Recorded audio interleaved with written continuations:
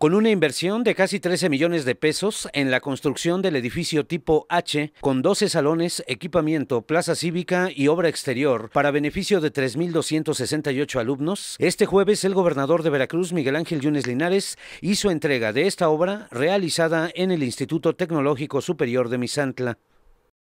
Vamos a entregar la construcción del edificio tipo H, con 12 salones, inversión también en equipamiento, con un costo total de casi 13 millones de pesos.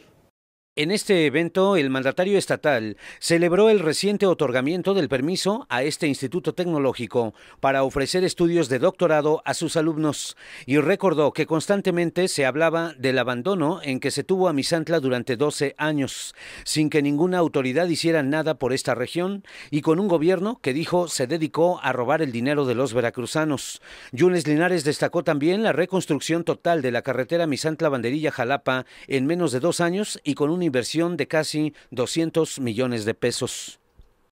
La carretera de Misantla a Banderilla y de allá a Jalapa. Una carretera que por años estuvo abandonada y que la recorrí muchas veces y estaba literalmente destrozada. Y hoy vine de Jalapa a Misantla por esta extraordinaria carretera que comunica con seguridad a los habitantes de toda esta zona con la capital del estado.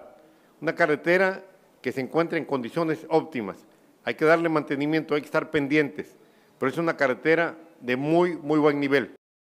El mandatario estatal señaló que aun cuando el problema de la seguridad no está resuelto en su totalidad, sí hay una mejora sustancial en este rubro en Misantla y que de acuerdo con cifras nacionales, el estado de Veracruz tiene una mejor posición respecto a la seguridad. Se mejoró la seguridad. En Misantla y toda esta zona había problemas graves de seguridad.